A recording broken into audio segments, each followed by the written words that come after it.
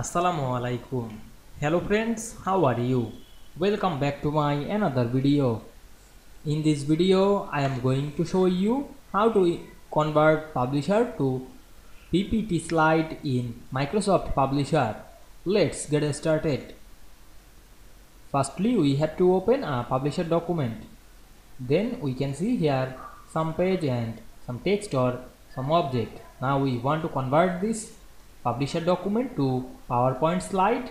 Go to the file menu, then go to the save as option, then click browse.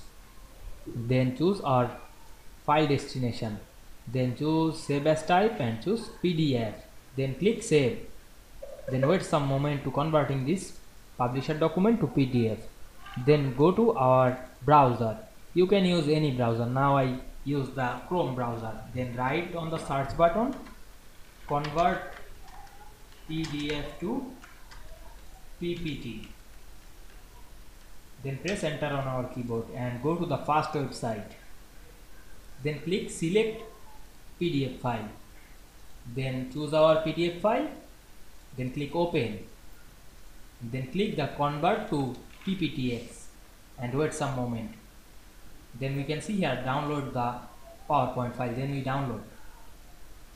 Then go to the download section and open the downloaded PowerPoint file and we can see here open the PowerPoint and now we can see